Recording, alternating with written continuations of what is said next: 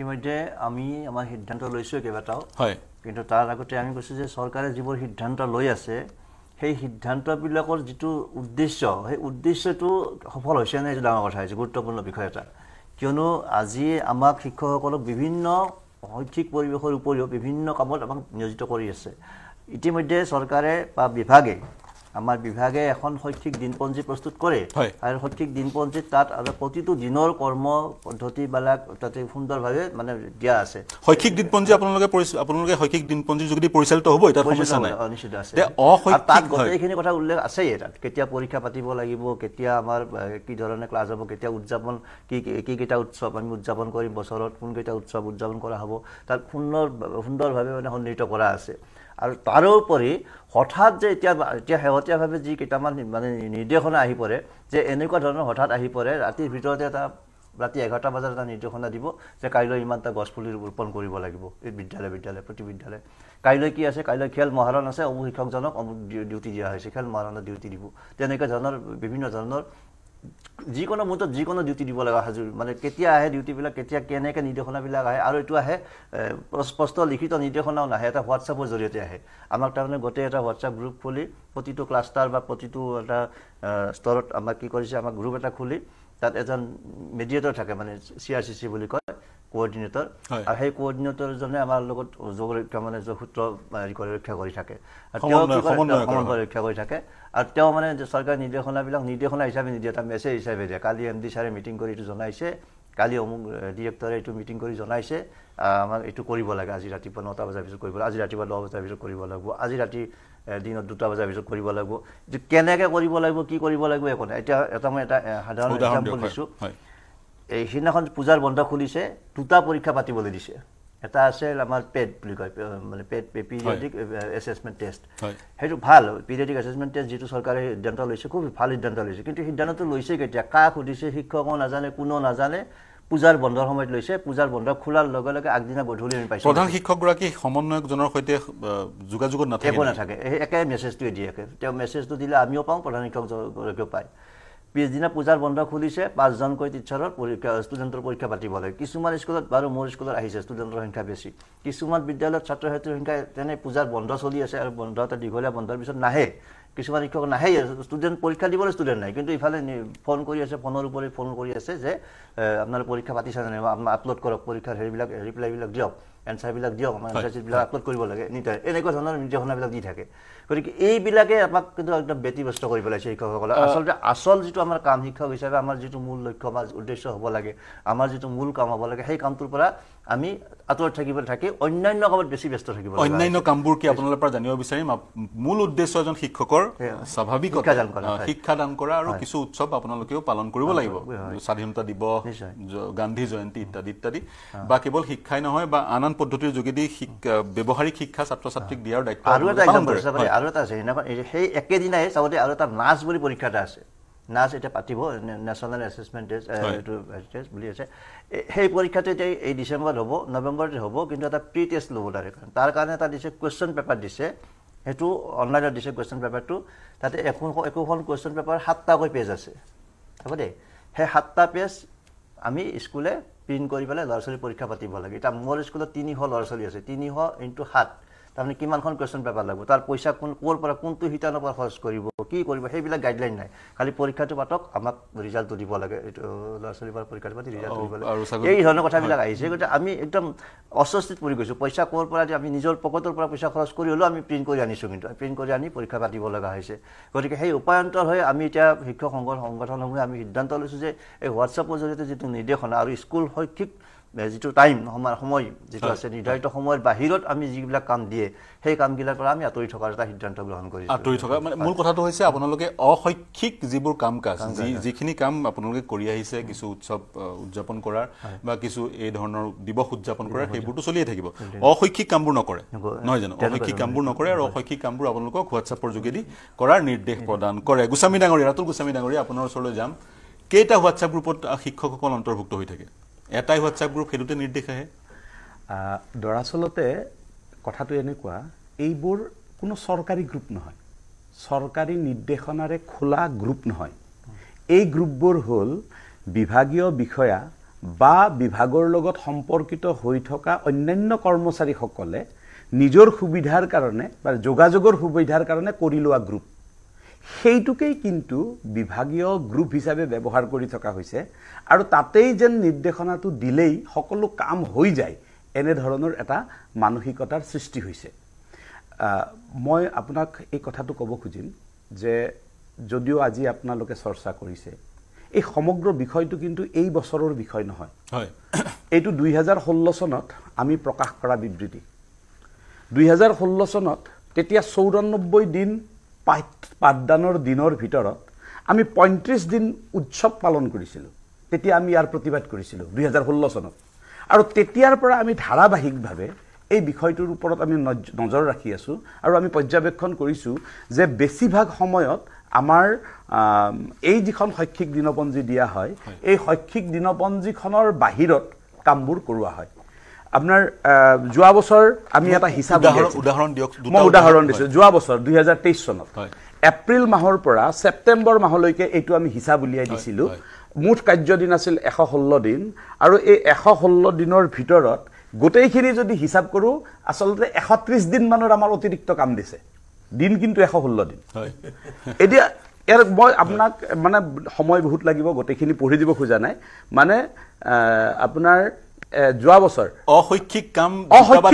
আপুনি কৈ দিয়ক। কথাটো কথাটো হ'ল এনেকুৱা। কথাবোৰ সকলো শৈক্ষিক। কথাবোৰ সকলো শৈক্ষিক। অশৈক্ষিক শব্দটোৰ ভুল ব্যাখ্যা কৰিলে চৰকাৰে আমাক দোষিব। হয়। কথাটো হ'ল আমাক প্ৰতিটো শ্ৰেণীৰ কাৰণে নিৰ্ধাৰিত এটা পাঠ্যক্ৰম থাকে হয়। প্ৰতিটো শ্ৰেণীত প্ৰতিজন শিশুক এটা অৰ্হতা দিয়া হয় যে এই ক্লাছ ফাইভৰ ল'ৰাটোৱে এইখিনি কথা শিকিব লাগিব।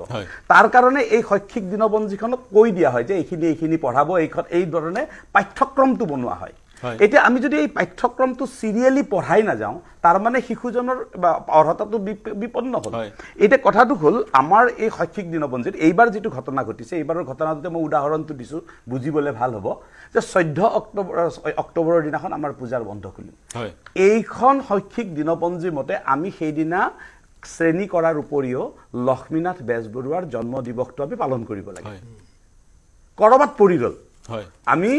আমি পেহেতাৰু নাচৰ পৰীক্ষাটো পাতিব লাগে। তাৰমানে অপৰিকল্পিতভাৱে এই ধৰণৰ কামবোৰ কৰি থকা হৈছে। কামখিনি আমি অ মানে অশৈক্ষিক নহয় কিন্তু পাঠ্যক্ৰম বহিৰ্ভূত। পাঠ্যক্ৰম বহিৰ্ভূত কাম এতিয়া গোটেই শিক্ষা ব্যৱস্থাটোত ইমান বেছি হৈছে যে আপুনি ভাবিব নোৱাৰিব। মই আপোনাক তথ্যসহ কৈছোঁ।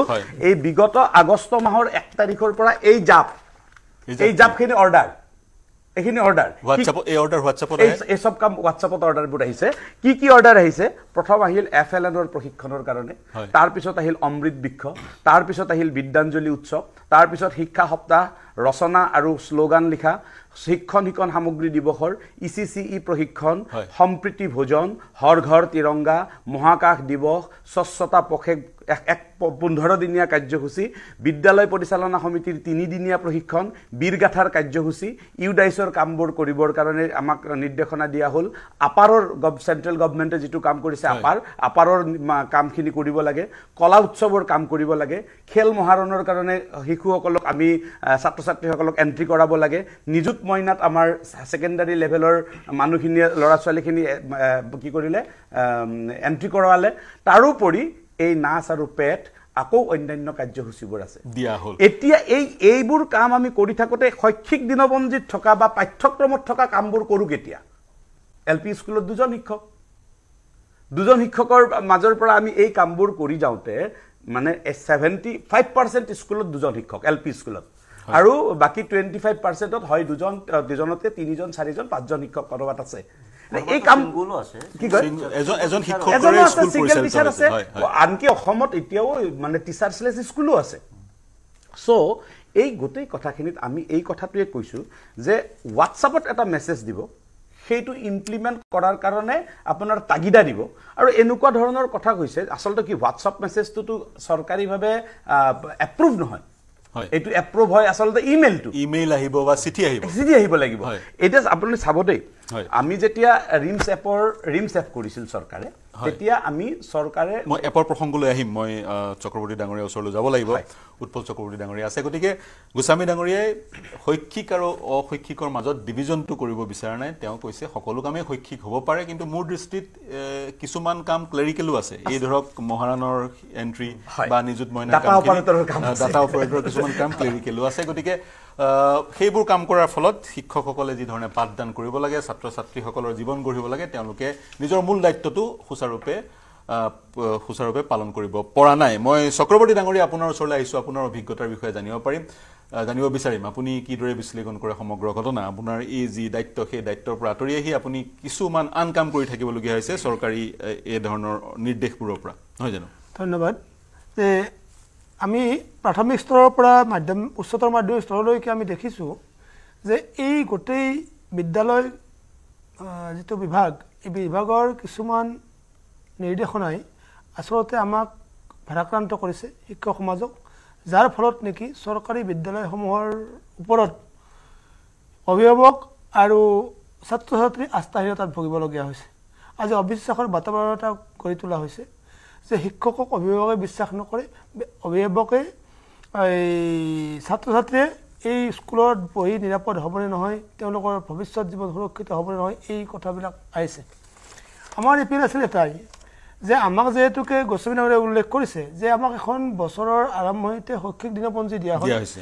যিখন শৈক্ষিক দিনপঞ্জীত তাৰ পৰীক্ষা ছমাহিলী পৰীক্ষা গোট পৰীক্ষা তাৰপিছত ফাইনেল পৰীক্ষা টেষ্ট বাছনি পৰীক্ষা ইত্যাদি বিভিন্ন কথা তাত সংযোজিত থাকিব। তাৰোপৰি আমাৰ যিখন পাঠ্যক্ৰম থাকিব বয়স বয়স অনুসৰি প্ৰত্যেক শ্ৰেণীৰ কাৰণে এখন পাঠ্যপুথি প্ৰস্তুত এই পাঠসূচী প্ৰস্তুত কৰা হৈছে। এই পাঠ্যসূচীখনৰ যিখিনি আমাক নিৰ্ধাৰিত পাঠ দিয়া হৈছে এই পাঠখিনি আমি যদি এটা বছৰৰ ভিতৰত নিৰ্ধাৰিত বছৰৰ ভিতৰত আমি আগবঢ়াই নিবলগীয়া হয় তেতিয়াহ'লে দেখোঁ যে আমি এইখিনি সামৰি লোৱাটোৱেই আচলতে চিলেবাছ চিলেবাছ আপোনালোকে কথা? কিন্তু তাৰোপৰি এই যিখন নেকি আমাক শৈক্ষিক দিনপঞ্জী দিয়া হ'ল ইয়াৰ উপৰিও প্ৰতি মাহত নিম্নতম তিনিটা বাৰ মাহত ছয়ত্ৰিছটা মেছেজ আহিব। যি মেছেজে আমাক শৈক্ষিক দিনপঞ্জীৰ বহিৰ্ভূত কাম কিছুমান কৰাবলৈ বাধ্য কৰায়। আৰু সেইখিনিৰ তাগিদাটো বেছি কাৰণ মু- মুহূৰ্তত দিব নোৱাৰিলে সেই বিষয়াগৰাকীয়ে সেই শিক্ষক বা বিদ্যালয়ৰ প্ৰধানক জবাবদিহি কৰে যে তোমালোকক চকজ দিয়া হ'ব আজি ৰাতিৰ ভিতৰত দিয়া বাৰ বজাত দিব লাগিব ৰাতিপুৱা এক ঘণ্টাৰ ভিতৰত দিব লাগিব স্কুল ইমান সময়ত খুলিব লাগিব। কিন্তু সেইমতে আমাৰ না কম্পিউটাৰ আছে। না এতিয়াও আপোনাৰ এজনে আচৰিত হ'ব যে বহু স্কুলত প্ৰাইমেৰী ষ্টেজতো বেলেগ কৰে ছেকেণ্ডাৰী লেভেলত বহুত ক্লাৰ্ক নোহোৱাত সেই মানে অনুষ্ঠান আছে। শিক্ষকে বেল ক'বলগীয়া অৱস্থাও আহিছে চতুৰ্থ কৰ্মচাৰী নাই। শিক্ষকৰ কথা বাদেই দিলোঁ। ছমাহিলী পৰীক্ষা গ'ল আজি এতিয়াও কিন্তু সকলো বিষয়ৰ পাঠ্যপুথি ছাত্ৰ ছাত্ৰীৰ হাতত তুলি দিব পৰা নাই। পুৰণা ষ্টক কিছুমান আনি আমি চেষ্টা কৰিছিলোঁ যে ছাত্ৰ ছাত্ৰীৰ পৰা আনি কিতাপ আৰু গোটাই দিয়াৰ চেষ্টা কৰিছিলোঁ যে অন্ততঃ হওক। কিন্তু এতিয়া আমাৰ গাৰ্জেনে আমাক চাৰ্জ কৰে যে তোমালোকে কিতাপ আহিলে তোমালোকে নিদিয়া তোমালোকে ঘৰত লৈ যোৱা। কিন্তু বাস্তৱ ক্ষেত্ৰতো এইটোৱেই যে আমি পুৰণা ছাত্ৰ ছাত্ৰীৰ পৰাও কিতাপ তুলি আনি ছাত্ৰ ছাত্ৰীৰ যিখিনি নিড এইখিনি পূৰণ কৰিব পৰা নাই আজিৰ ডেটত আৰু পুঁজিৰ ক্ষেত্ৰত কৈছোঁ যে যদি আমি এই গোটেই পৰীক্ষাটোৰ পৰিচালনা কৰিবলগীয়া হয় নিম্নতম পাঁচ হাজাৰ টকা যাব। এই পাঁচ হাজাৰ টকা ক'ৰ পৰা আহিব তাৰ কথা যিটো। পৰীক্ষা চৈধ্য অক্টোবৰ তাৰিখে পৰিচালনা কৰিবলৈ কৈছে। আপোনাক আৰু এটা কথা ইনফৰ্মেশ্যন দিয়া আপোনাৰ। অকণমান সময় দিব যেন লাগিছে। যে আমাৰ বৰাক উপত্যকাৰ তিনিখন জিলাত পূজা বন্ধ ছদিন বেছিকৈ দিয়া হয়। তেওঁলোকৰ পূজা কেন্দ্ৰিক কথাখিনি বেছি। সেই গৰম বন্ধ তেওঁলোকৰ কম পূজা বন্ধত তেওঁলোকৰ বন্ধটো লৈ লয়। এই সময়ত এই যিখন চিডুল দিয়া হৈছে নাট আৰু পেট পৰীক্ষাৰ এই কিন্তু তাত সমানে আমি কৰিব লাগিব। আৰু যদি নকৰে সেইখিনি এই পৰীক্ষাটো কিহৰ পৰীক্ষা? এইটো দুটা। নেশ্যনেল এচিভমেণ্ট ছাৰ্ভে এটা। সেইটো সৰ্বভাৰতীয় শিক্ষকৰ পৰীক্ষা। শিক্ষকৰ ছাত্ৰ ছাত্ৰী বৰাক ভেলীটো হৈ- বন্ধ হৈ আছে। আহিব। আছে। এই কথাবিলাকে আমি কৈছোঁ আৰু তাকে কৰিবলৈ যাওঁতে আমি আক্ৰসৰ বুলি হ'বলগীয়া হয় কেতিয়াবা যে আমি অনাকাংক্ষিতভাৱে কিছুমান শাস্তিৰ সন্মুখীন হ'বলগীয়া হয়। যে এখন ৰাজ্যত দুটা ভেলীত ব্ৰহ্মপুত্ৰ আৰু বৰাক ভেলীত আমি সমান সমানে।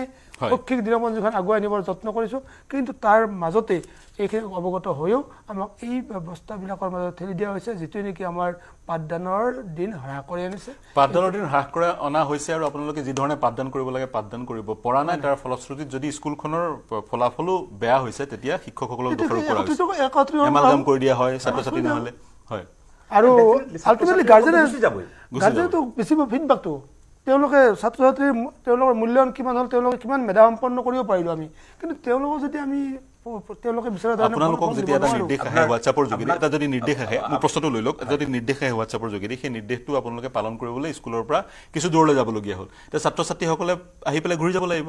যিখন নিশ্চয়, স্কুলত এজন আপোনাৰ- বা দুজন শিক্ষক আছে। আগষ্ট মাহত আমি যেতিয়া আগষ্ট মাহৰ যেতিয়া আৰম্ভণিতে এই এফ এল এনৰ প্ৰশিক্ষণ হ'ল পাঁচদিন পাঁচদিনকৈ প্ৰশিক্ষণ হৈছে পঞ্চাছটা পঞ্চাছটাকৈ গ্ৰুপ বনাইছে। এই গ্ৰুপ মানে ধৰা হ'ল এখন এল পি স্কুলত দুজন শিক্ষক আছে।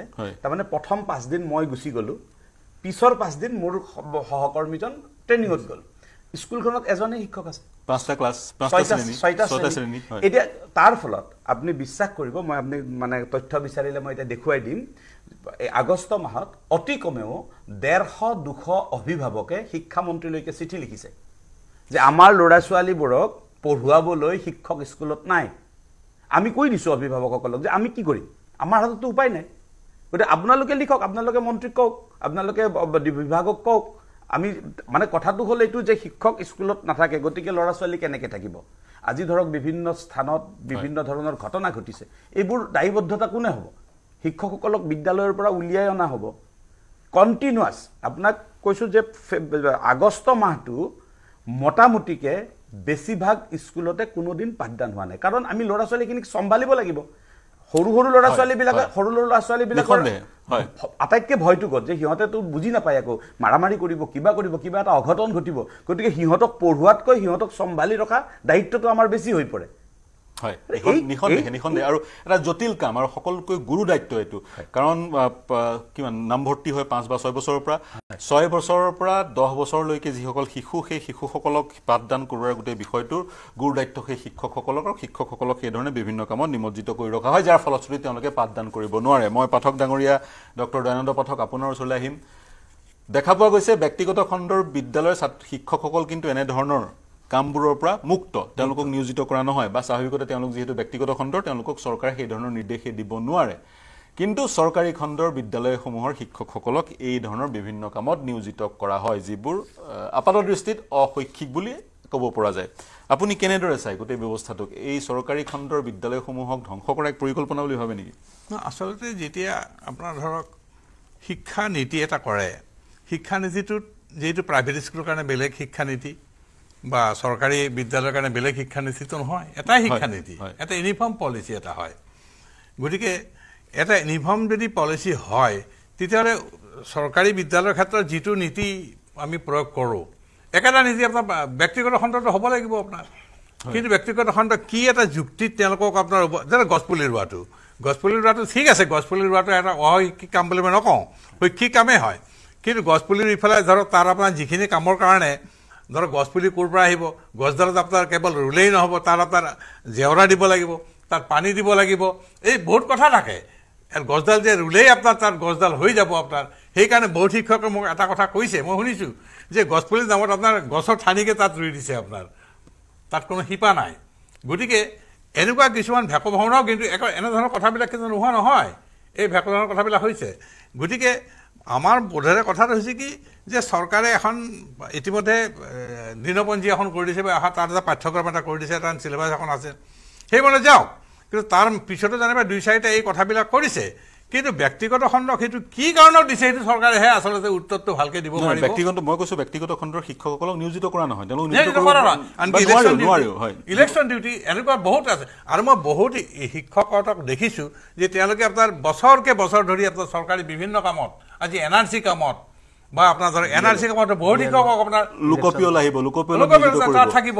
কিন্তু তাৰপিছত লোকপিয়লৰ কামত নিৰ্বাচন। কিয় ব্যক্তিগত খণ্ডৰ বিদ্যালয়বিলাক কিয় দে আৰ ফ্ৰী সেই যুক্তিটো চৰকাৰে আমাক কেলে নিদিয়ে? হয়। সেই কথাটো আমি জানিব লাগিব। ৰাইজ হিচাপে আমি জানিব লাগিব। দুটা কথা হ'ব পাৰে। প্ৰথম কথা আপুনি এটা কথা কৈছে ব্যক্তিগত খণ্ডৰ বিদ্যালয়সমূহৰ শিক্ষককো তেনে কামক নিয়োজিত কৰক। নতুবা শিক্ষকক তেনে কামত একেবাৰে নিয়োজিতই নকৰক। নহয় গতিকে নহয় মই সেইটো কথা ক'ব যদি জাতীয় স্বাৰ্থ এটা হয় বা এটা ৰাষ্ট্ৰীয় এটা তাৰ ইণ্টাৰেষ্ট এটা থাকে। তাত আমি হয়তো এটা আমাৰ যোগদান কৰিব লাগিব। কিন্তু সেইটোত আপোনাৰ এটা এটা ঠিক এটা আপুনি ধৰক এটাক আমি খুব বেছিকৈ খটুৱালোঁ এজনৰ প্ৰতি আমি এটা অন্যায় এটা কৰিলোঁ। এই কথাটো হ'ব নোৱাৰে। এটা ইউনিফৰ্মলি গোটেই বস্তুটো প্ৰয়োগ কৰক। তেতিয়া আমাৰ ক'ব লগা একো নাথাকে। কিন্তু ব্যক্তিগত হয়তো আমি গছপুলি তেওঁলোক ৰুব নালাগে। তেওঁলোক আপোনাৰ এন আৰ চিৰ কামত যোগাযোগ কৰিব নালাগে। গতিকে তেওঁলোকৰ জাতীয় স্বাৰ্থটো ক'ত পালন হ'ল আপোনাৰ? তেওঁলোকে জাতীয় স্বাৰ্থত তাৰমানে তেওঁলোকে কমপ্লিটলি ফ্ৰী থাকিব লাগে আপোনাৰ। কেৱল চৰকাৰী বিদ্যালয়সমূহে আপোনাৰ জাতীয় স্বাৰ্থৰ প্ৰতি লক্ষ্য ৰাখিব লাগে। কথাটো সেইটোহে হ'ল অৰ্থটো। এটা সময় আছিলে শিক্ষক আজিৰ পৰা দুই দশক আগলৈ যদি যাওঁ শিক্ষকসকলক যেতিয়া ৰাস্তাত শিক্ষাৰ্থীয়ে দেখে তেতিয়া চাইকেলৰ পৰা নামি যায়। বা শিক্ষকসকলে স্বইচ্ছাই গছপুলি ৰুই পত্ৰহৰিত শালুক সংশ্লেষণ সকলো বৰ্ণনা দিছিলে।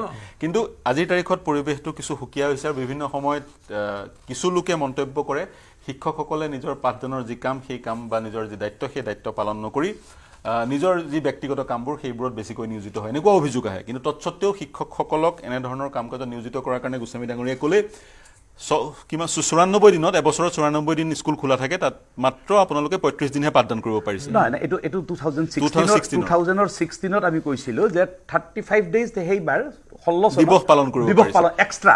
শৈক্ষিক দিনপঞ্জীৰ extra এতিয়াও কোনো। ধৰণৰ পৰিৱৰ্তন হোৱা নাই? এতিয়াও পৰিৱৰ্তন হোৱা নাই। একেই কথাখিনি চলি আছে। একেই কথাখিনি চলি আছে হয়। মই তুলিক ডেকা ডাঙৰী আপোনাৰ ওচৰলৈ ওচৰলৈ আহিম। কি বিচাৰে আপোনালোকে চৰকাৰৰ পৰা? কেনেদৰে গোটেই প্ৰক্ৰিয়াটো আগবাঢ়িব লাগে তাৰ সমান্তৰালকৈ প্ৰতিটো কাম কৰাৰ পিছত আপোনালোকে সেই এপৰ এপৰ কথা গোস্বামী ডাঙৰীয়ে কৈ আছিল আপোনাৰ পৰা জানিব বিচাৰিম এপৰ যোগেদি কামৰ খতিয়ানবোৰ বিষয়াসকলক দিব লাগে নহয় জানো হয় হয়। এইটোৱে এতিয়া ইতিমধ্যে কিছুমান কথা আমাৰ পোহৰলৈ আহিছে আমাৰ পাঠক ছাৰে ক'লে এইমাত্ৰ যে ব্যক্তিগত খণ্ডৰ বিদ্যালয়ৰ ক্ষেত্ৰত এইবিলাক প্ৰযোজ্য কিয় নহয় যদি এইটো যদি ৰাইজৰ স্বাৰ্থতে হয় বা এইটো যদি কিবা জাতীয়তাবোধ আছে তাত অন্তৰ্নিহিত। হৈ আছে তেতিয়াহ'লে এই যে ব্যক্তিগত খণ্ডৰ বিদ্যালয়ত যে পঢ়া শুনা কৰিছে শিক্ষক পঢ়াই আছে শিক্ষকসকল বা তাত শিক্ষাদান শিক্ষা লাভ কৰা ছাত্ৰ ছাত্ৰীসকল শিক্ষাৰ্থীসকল তেওঁলোকে কি জাতীয়তাবোধৰ পৰা দূৰত থাকিব লাগে নেকি? নে আঁতৰত থাকিব লাগে এই ডাঙৰ এইটো এটা ডাঙৰ প্ৰশ্ন আহিছে কিন্তু। হয়। কাৰণ তেওঁলোকতো জাতীয়তাবোধ তেওঁলোকতো আছে। তেওঁলোকে একে একে এইখন ৰাজ্যতে পঢ়ে। একেখন এটা একেটা পলিচিৰ আণ্ডাৰতে তেওঁলোকে শিক্ষা গ্ৰহণ কৰি আছে শিক্ষানীতি একেটাই আছে। যদি স্বচ্ছ অভিযান আপোনালোকৰ যোগেদি সফল হ'ব লাগে সফল হ'ব তেওঁলোকৰ লাগে। যোগেদি তেওঁলোকৰ সফল যোগেদি হ'ব লাগে। সেইটো হয়। সেইটো এটা আহি পৰিছে।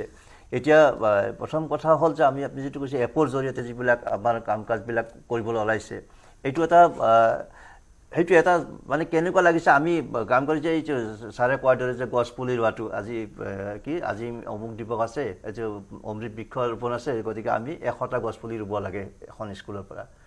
দেখু- দেখুৱাব লাগে। এইটো এপৰ জৰিয়তে দিব লাগে। আজি লাচিত দিৱস আছে যে ইমানখন ৰচনা আমাক দিবই লাগিব আজিৰ ভিতৰত কালিৰ ভিতৰত দিব লাগিব ইমানখন ৰচনা আপলোড কৰিব লাগিব।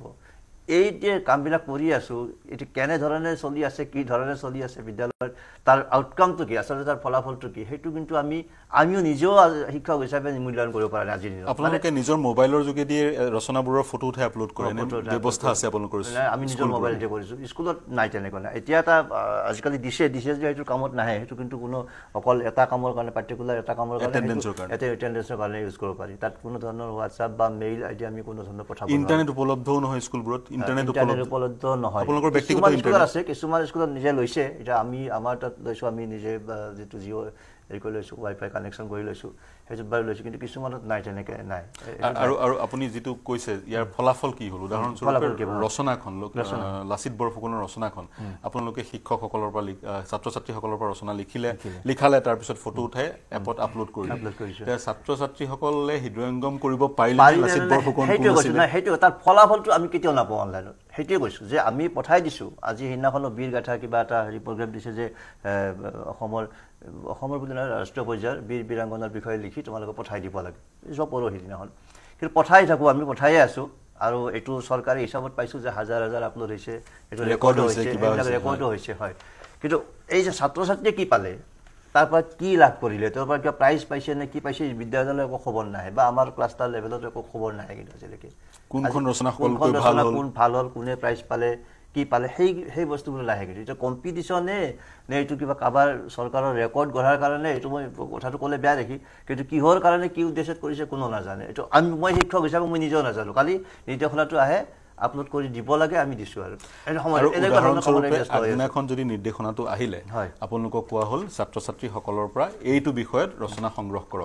ছাত্ৰ ছাত্ৰীসকলে ৰচনাখন লিখিবলৈ হোমৱৰ্ক কৰিবলৈ বা তাৰ কাৰণে যি এটা প্ৰিপেৰেশ্যন লাগে সেইটো কৰিবলৈ সময় নাপায় কেতিয়াবা। কেতিয়াবা সেইটোও হয় কিন্তু এইটো সকলো সময়তে নহয় কিছুমান ক্ষেত্ৰত সময় দিয়ে এইটো ভুল হ'ব গোটেইখিনি মানে চৰকাৰক দোষাৰোপ বা বিভাগক দোষাৰোপ কৰিলে সময় দিয়ে কিন্তু কেতিয়াবা কিছুমান ক্ষেত্ৰত সময় নিদিয়েও। আৰু সময় নিদিয়া সময় তাৎক্ষণিকভাৱেও দিয়া হেৰিও আছে। এতিয়া যে বীৰ গাঁথাৰ কথাটো কৈছোঁ এইটোতো পূজাৰ বন্ধ আছিল। পূজাৰ বন্ধৰ পিছত দিলে। পূজাৰ বন্ধ খুলিব আজি কেইদিন হ'ল? হয়। তো পাঁচ ছয় দিন চাৰিদিন মান মান হৈছে। তাৰপিছত দুদিন পিছতে দি দিছে। গতিকে তেওঁলোকে ষ্টাডি কৰাৰ এটা সময় পালে বা প্ৰিপেৰেশ্যন কৰাৰ কাৰণে সময় নিদিয়ে। এতিয়া কথা হ'ল যে এই এপছবিলাকতকৈ গুৰুত্ব দিয়াতকৈ চৰকাৰে যিখিনি গুৰুত্ব দিব লাগে সেইখিনি কিন্তু দিয়া নাই। আজি আমাৰ বিদ্যালয়বিলাকত। দুটা দুটাকৈ পৰীক্ষা শেষ হ'ল। দুটা গোট পৰীক্ষা শেষ হ'ল এতিয়ালৈকে। এই তিনি নম্বৰ গোট পৰীক্ষা আকৌ আহিব হৈছে এতিয়ালৈকে কিন্তু যিটো মূল্যায়ন বহি যে দিব লাগে এই মূল্যায়ন বহি কিন্তু আজিলৈকে দিব পৰা নাই। ক'ত পৰীক্ষা লৈ আছোঁ কেনেকৈ পৰীক্ষা লৈ আছোঁ সেই বিষয়ত কিন্তু আমি ইতিমধ্যে এটা কাৰ্যসূচীও লৈছিলোঁ আমি। গোস্বামী ছাৰে জানে নিশ্চয় সন্মিলিতভাৱে। আৰু তাত শিক্ষামন্ত্ৰী মহোদয়ে এটা কি উত্তৰ দিছে জানে? আটাইতকৈ একেবাৰে দুখ লগা উত্তৰটো দিছে যে আমাৰ ইলেকশ্যনৰ কাৰণে এইবাৰ আমি দিব নোৱাৰিলোঁ যিহেতু মাৰ্চ এপ্ৰিল মাহত ইলেকশ্যন আছিলে। যে নিৰ্বাচন যাব আজি কিমান মাহ হ'ল? ছয় মাহ হৈ গ'ল। এই ছয় মাহ পিছতো আজিলৈকে কিন্তু দিব পাৰে আচল মূল বিষয়বস্তুবিলাকত য'ত গুৰুত্ব দিব লাগে সেইখিনিত কিন্তু আহ, বিভাগ কিন্তু সম্পূৰ্ণভাৱে পৰীক্ষাকেইটাৰ যি বুজিছো পৰীক্ষাকেইটাৰ ফলাফল যিটো- ছাত্ৰ ছাত্ৰীয়ে যিটো- পোৱা নাই। অ, যিটো শৈক্ষিক যিটো দিনপঞ্জী মতে পৰীক্ষা পাতি আছো আৰু শৈক্ষিক দিনপঞ্জী মতে সেই মূল্যায়ন বহীখিনি দিব লাগে বিতৰণ কৰিব লাগে। আচলতে এইটো আৰম্ভণিতে দিব লাগে ফ্ৰী টেক্সটবুক যেতিয়া দিয়ে তেতিয়া যে সেই সময়তে দিব লাগে। কিন্তু এতিয়া আজি কিমান আঠ মাহ এতিয়া ছমাহ হৈ গ'ল। দুটা পৰীক্ষা ইতিমধ্যে শেষ হ'ল দুটা গোট পৰীক্ষা। এই পৰীক্ষাবিলাক আমি কেনেকৈ পাতিছোঁ বিদ্যালয়বিলাকত আপুনি যদি বিদ্যালয়বিলাকত যায় তেতিয়া গম পাব। আমি নিজৰ পকেটৰ পইচা খৰচ কৰি মূল্যায়ন বহি পেজ কিনি আনি এনেকৈ দি পেলাই আমি ছাত্ৰ ছাত্ৰীসকলৰ। তেনেকুৱা এটা অৱস্থা হৈছে হয়। অতিৰিক্ত ধন একেবাৰে নাথাকে। অতিৰিক্ত ধন নাথাকে মই পুনৰ আপোনাৰ ওচৰলৈ আহিল ৰাতুল গোস্বামী ডাঙৰীয়া এতিয়া আপোনাৰ ওচৰলৈ যাব বিচাৰিছোঁ। ইয়াৰ প্ৰতিকাৰ কি হ'ব পাৰে? আমি দেখা পাইছোঁ দিনে দিনে বিশেষকৈ চৰকাৰী খণ্ডৰ বিদ্যালয়সমূহলৈ ছাত্ৰ ছাত্ৰীৰ যি আকৰ্ষণ বা অভিভাৱকৰ আকৰ্ষণ দিনে দিনে কমি আহিছে। আৰু ইয়াৰ ফলস্বৰূপে ইংৰাজী মাধ্যমৰ বিদ্যালয়সমূহ কাঠফুলাৰ দৰে বিভিন্ন স্থানত গঢ়ি উঠিছে। সেই বিদ্যালয়সমূহৰ মানদণ্ড কেনেকুৱা শিক্ষকৰ মানদণ্ড কেনেকুৱা তাৰ কোনো নিয়ন্ত্ৰণ কাৰো হাতত নাই। সৰু সৰু বিভিন্ন গুৱাহাটীৰ কথাটো বাদেই দিলোঁ বিভিন্ন মফচলীয়া অঞ্চলতো সৰু সৰুকৈ এনেধৰণৰ ব্যক্তিগত খণ্ডৰ বিদ্যালয়সমূহ কাঠফুলাৰ দৰে গঢ়ি উঠিছে। গতিকে আপুনি কি ক'ব? ইয়াৰ প্ৰতিকাৰ কি আপোনালোকে দীৰ্ঘদিন শিক্ষকতাৰ সৈতে জড়িত হৈ আছে। ইয়াৰ উপায় কি? চাওক মই দুটামান কথা সংযোগ কৰি ল'ব খুজিছোঁ। এই যে ব্যক্তিগত খণ্ডৰ বিদ্যালয়ত এইবোৰ কাম কৰিবলৈ দিয়া নহয় আমাৰ এইবিলাকত কৰিব দিয়া হয় এই কথাটো কোৱাৰ লগে লগে চৰকাৰীভাৱে এটা কথা কোৱা হয় যে এখেতসকল হ'ল আমাৰ এমপ্লয়ী তেখেতসকল আমাৰ এমপ্লয়ী নহয়। কিন্তু মোৰ প্ৰশ্নটো হ'ল এইটো যে দুই হাজাৰ ষোল্ল চনত অসমৰ প্ৰতিগৰাকী বিধায়কে অসমৰ একোখনকৈ ব্যক্তিগত খণ্ডৰ বিদ্যালয়ক দহ লাখ কোটি টকা অনুদান দিছিল। কিয় দিছিল? এতিয়াও ৰাজ্য চৰকাৰে সিদ্ধান্ত গ্ৰহণ কৰিছে যে প্ৰতিখন বিদ্যালয়ত আৰ টি ই এক্টৰ নামত কথাটো কোৱা হৈছে কিন্তু আৰ টি ই এক্টে কোৱা কথাটো অলপ বেলেগ চৰকাৰে কৰিব লগা খোজাটো বেলেগ যে প্ৰত্যেকখন বিদ্যালয়ত টুৱেণ্টি ফাইভ পাৰ্চেণ্ট ষ্টুডেণ্টক চৰকাৰী পৃষ্ঠপোষকতাত অৰ্থাৎ চৰকাৰী খৰচত বেচৰকাৰী শিক্ষা দিয়াৰ ব্যৱস্থা বুলি চৰকাৰে গ্ৰহণ কৰিছে। দৰিদ্ৰ সীমাৰেখাৰ তলৰ এতিয়া কথাটো হ'ল এই গোটেই প্ৰক্ৰিয়াটোই আচলতে চৰকাৰী খণ্ডৰ লগত চৰকাৰী পৃষ্ঠপোষকতাত ব্যক্তিগত খণ্ডক প্ৰশ্ৰহিত হৈছে। তেলে ব্যক্তিগত খণ্ডৰ শিক্ষকসকলক এই ধৰণৰ কামত নলগটোৱাব কিয়? কিন্তু এই কথাটো কিন্তু- কিন্তু ব্যক্তিগত খণ্ডৰ শিক্ষকসকলক যদি এনেধৰণৰ কামত নিয়োজিত কৰে সমস্যাটো কিন্তু সমাধান নহ'ল। সমস্যাটো সমাধান নহয়। মই মানে জাষ্ট এই কথাটো ক'ব খুজিছোঁ যে চৰকাৰীভাৱে দিয়া উত্তৰটোৰ এটা এটা যে তাৰ বিপৰীত দিশো আছে মই সেই কথাটো ক'ব খুজিছোঁ। তাৰ লগত মই আপোনাক দুটা কথা ইনফৰমেশ্যন দিব লাগিব নহ'লে অলপ ৰৈ যাব কথাটো। আমাৰ ডেকা ডাঙৰীয়াই যে ক'লে ইভালুৱেশ্যন ইভালুৱেশ্যন বুকটো সেই বুকটোৰ নামটো হ'ল প্ৰেক্টিচ এণ্ড ইভালুৱেশ্যন তাৰমানে আমাৰ ল'ৰা ছোৱালীক আমি সেই বহীটোত প্ৰেক্টিচ কৰাব লাগে ফ্ৰম ভেৰি বিগিনিং এতিয়া কথাটো হ'ল যে আজি ছমাহ পাৰ হ'ল আমি ল'ৰা ছোৱালীক প্ৰেক্টিচ কৰাব পৰা নাই। কাৰণ আৰ টি ই এক্টে কৈছে যে আমি কোনো ল'ৰা ছোৱালীক কিতাপ বহি কিনাবৰ কাৰণে মানে বাধ্য কৰাব নোৱাৰোঁ। আমি আজিৰ তাৰিখলৈকে ল'ৰা ছোৱালীক যদি প্ৰেক্টিচ কৰাবৰ কাৰণে বহীটো দিয়া নাই তেনেহ'লে দুমাহ পিছত গুণোৎসৱ পাতি তেওঁলোকৰ ফিডবেক লোৱাৰ অধিকাৰটো আমাৰ আছেনে নাই? এই প্ৰশ্নটো আমি উত্থাপন কৰিম নে নকৰিম? হয়। দ্বিতীয় কথাটো হ'ল আমাক যেতিয়া এটা অৰ্ডাৰ দিয়া হয় কোৱা হয় যে আজি এতিয়া অৰ্ডাৰ দিলোঁ কালি আপুনি কিন্তু এইটো কাম কৰি দিব নহ'লে আদাৰৱাইজ আজি কেইদিনমান আগতেতো প্ৰতিখন অৰ্ডাৰৰ পিছফালে শেষৰ বাক্যটো আছিল আদাৰৱাইজ আপোনাৰ চেলাৰী যাব আদাৰৱাইজ আপোনাৰ ছাছপেনশ্যন হ'ব ইত্যাদি ইত্যাদি আছিল। আমি সন্মিলিত মঞ্চৰ পৰা এইটো প্ৰতিবাদ কৰাৰ পিছত আজিকালি সেই বাক্যটো নালা না- মানে নাহে। হয় অপমানসূচক অপমানসূচক। কিন্তু কথাটো কৈছোঁ আপোনাক চাব দেই চৈধ্য তাৰিখে যিটো পৰীক্ষা পাতিব দিছিল সেই পৰীক্ষাটোত কোৱা হৈছিল যে সন্ধিয়া আপোনালোকে পৰীক্ষাটো পতাৰ পিছত ৰিজাল্টটো আপলোড কৰি দিব। ক'ত? চৰল নামৰ এটা এপত আপলোড কৰি দিব। হয়। আজিৰ তাৰিখলৈকে। চৰল এপটো কিন্তু চৰকাৰে দিব পৰা নাই। এটা লিংক দি থৈছে এপটো এতিয়ালৈকে দিব পৰা নাই। আজিৰ তাৰিখলৈকে ইভালুৱেশ্যনৰ বহি নাই। আজিৰ তাৰিখলৈকে কিতাপ সম্পূৰ্ণ হোৱা নাই। তাৰমানে বিভাগীয়ভাৱে কৰিব লগা কামখিনি কৰা নাই অথচ আমাৰ পৰা ছাত্ৰ ছাত্ৰীৰ পৰা ফিডবেকটো আমি বিচাৰি আছোঁ। শিক্ষকৰ সমস্যা শিক্ষকৰ প্ৰাপ্যৰ কথাটো নকলোৱেই আজি নলবাৰীৰ অবিবি শিক্ষকসকল দৰমহা নোপোৱাকৈ পৰি আছে চাকৰিটো হোৱা নাই। আজি শিক্ষকসকলৰ কথাখিনি আছেই এল পি স্কুলত প্ৰধান শিক্ষকৰ পদটো দিম বুলি আজি এক এক বছৰ আগতে কেবিনেটে সিদ্ধান্ত এইবোৰতো ডেকা আছেই। ডাঙৰীয়া জানে আমি বহু- বহুবাৰ পাতি হয়, থৈছোঁ এই মঞ্চতে। eight seven, অ, আ, অ, মা- এইখন চৰকাৰে প্ৰথমবাৰৰ বাবে ভাৰতবৰ্ষৰ ইতিহাসত এটা নজিৰ সৃষ্টি কৰিছে যে দি কাঢ়ি লোৱা চৰকাৰ হিচাপে আমি কৈছিলো। ৰাজ্যৰ প্ৰাথমিক বিদ্যালয়ৰ শিক্ষকসকলক আঠ হাজাৰ সাতশ টকা আপোনাৰ গ্ৰেড পে দি এইখন চৰকাৰে কাঢ়ি ল'লে। ইত্যাদি ইত্যাদি কথাবোৰতো আছে প্ৰাপ্যৰ কথা। আমি সেইবোৰ ক'ব খোজা নাই। আমি কৈছোঁ যে আজি এই চৰকাৰখন স্থাপন হোৱাৰ পৰা দুই হাজাৰ একৈছ চনৰ পৰা আজিৰ তাৰিখলৈকে ছাত্ৰ ছাত্ৰীৰ বৃত্তি পৰীক্ষাটো পতা নাই। আজি তিনি বছৰ হ'ল। পঞ্চম শ্ৰেণী আৰু অষ্টম শ্ৰেণীৰ বৃত্তি পৰীক্ষাটো অনুষ্ঠিত কৰা নাই। কিয় অনুষ্ঠিত নকৰিব? কিন্তু এই গোটেই কথাটোলৈ আমি দেখিছোঁ এটা সাংঘাতিক নীৰৱতা হৈছে এইকাৰণেই নীৰৱতা হৈছে যে চৰকাৰী বিদ্যালয়ত পঢ়ি থকা ছাত্ৰ ছাত্ৰীসকলৰ অভিভাৱকসকলে এই কথাত মাত মাতিব তেওঁলোকৰ সময়ো নাই অৱকাশো নাই আৰু তেওঁলোকৰ সক্ষমতাও নাই। যিসকলৰ সক্ষমতা আছে সেইসকলে আমি মৌন হৈ আছোঁ।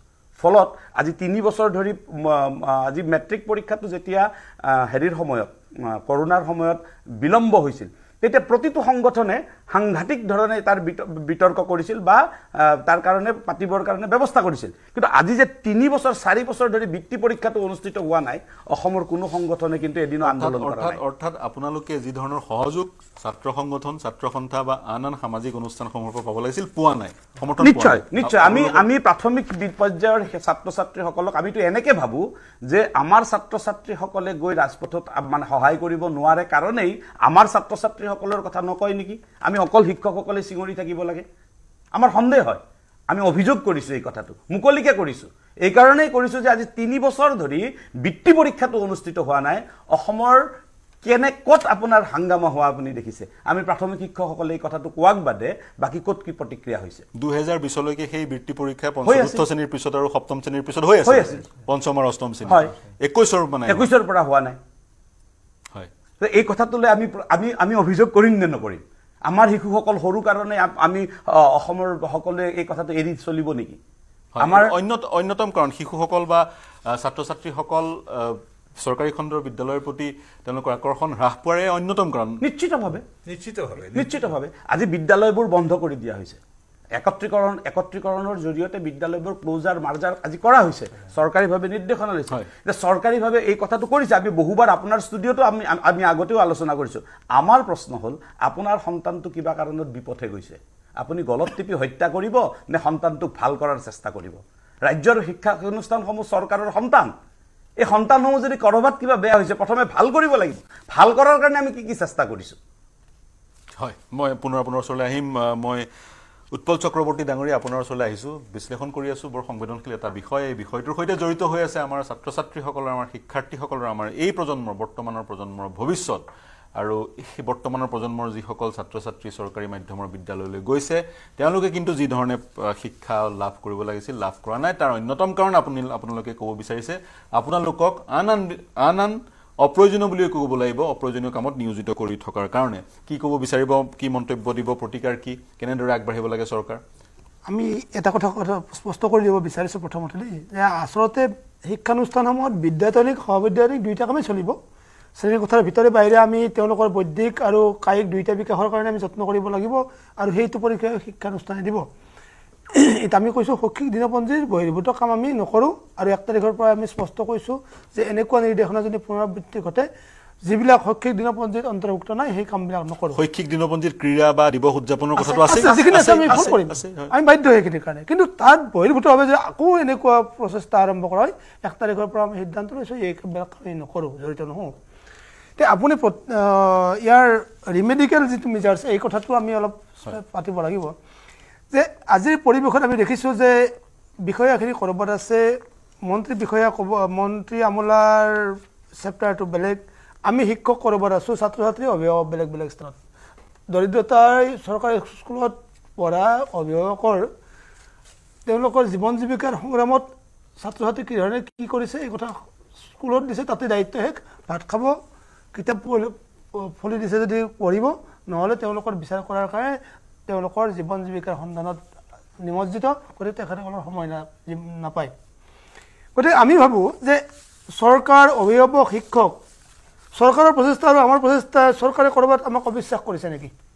গতিকে আমাক শিক্ষক সমাজক বিশ্বাসত লৈ আমাক জড়িত কৰি যদি আগবাঢ়িব বিচাৰেহেঁতেন বা বিচৰাৰ চেষ্টা কৰা হয় তেতিয়াহ'লে ভাবোঁ যে শিক্ষাৰ মানচিত্ৰখন আজি মুখ্যমন্ত্ৰীগৰাকীয়ে যিটো কৈ আছে আজি চৰকাৰৰ যিটো ভিছন যে আমি অসমৰ শিক্ষা ব্যৱস্থাক এটা উন্নত স্তৰলৈ লৈ যাব পাৰোঁ খুব বিচাৰিছোঁ।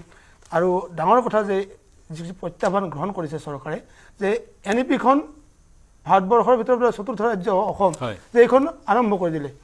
গতিকে আমি আদৰণি জনাইছোঁ যে বেষ্ট আৰম্ভ হৈছে অসমত ঠিকেই আছে।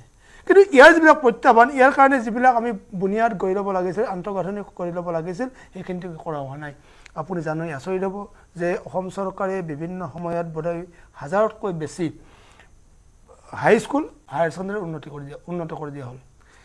তাত কোনো এজন শিক্ষকৰ পদ মঞ্জুৰ কৰা হোৱা নাই। শিক্ষকবিহীনভাৱে হায়াৰ ছেকেণ্ডাৰী প- ই অনুষ্ঠানটো চলি আছে। প্ৰথমবাৰ হ'ল ইয়াত হায়াৰ ছেকেণ্ডাৰী খুলিছে সেই ছাত্ৰ ছাত্ৰীখিনি থাকিল। যেতিয়া দেখিলে যে তিনিজন শিক্ষক অসমীয়া আৰু বুৰঞ্জী। শিক্ষকজন আছে ইংৰাজী শিক্ষক নাই গতিকে স্কুল বাদ দি দিলে স্কুল বাদ দিলে তাৰ ফলত জুনিয়ৰ কলেজ হয়। গলিয়ে গলিয়ে জুনিয়ৰ এই কলেজ যিবিলাক যিবিলাক প্ৰাইভেট জুনিয়ৰ কলেজ। ব্যক্তিগত খণ্ডৰ আৰু সেইবিলাকত আমি ক'ৰবাত উদ্যোগপতি ক'ৰবাত আমাৰ এই ব্যৱসায়িক মানুহ জড়িত হৈ আছে য'ত দোকান সদৃশ পৰিৱেশ য'ত না মাটি। নাই বা তাত কোৱালিফাইড শিক্ষক নাই তাত বিজ্ঞানাগাৰ নাই তাতো কিন্তু আমি মেলি দিলোঁ ছাত্ৰ ছাত্ৰীসকলক তেওঁলোকক লাভৰ জড়িত কৰি আমাৰ অভিভাৱকসকলক শোষণ কৰাৰ কাৰণে। গতিকে মোৰ চৰকাৰলৈ আহ্বান যে শিক্ষক সমাজত বিশ্বাসত লৈ এই গোটেই বিদ্যায়তনিক পৰিৱেশটো এটা বিশ্লেষণ কৰা হওক। আমাক সহযোগী হিচাপে ভাবি লওক যে আমি ক'ৰবাত পৃথক কৰি আমাক ৰাখিব বিচাৰিলে কিন্তু শিক্ষাৰ ক্ষেত্ৰখন আগ নাবাঢ়ে গতিকে আমাৰ প্ৰাপ্য বিচাৰি আমি যিমান আগবাঢ়িব লাগিছিল তাতে আমি ক'ৰবাত ৰৈ আছোঁ। আমাৰ প্ৰাপ্যৰ পৰা বঞ্চিত যে হৈ আছোঁ ক'ৰবাত সেইবিলাক আমি আজি মাত মাতা বন্ধ কৰি দিছোঁ। কাৰণ যে আজিৰ পৰা আৰু হয়তো দহ পোন্ধৰ পিছৰ পিছত দেখিব যে কোনো অভিভাৱকে চৰকাৰী স্কুলত বুলিবলৈ আৰু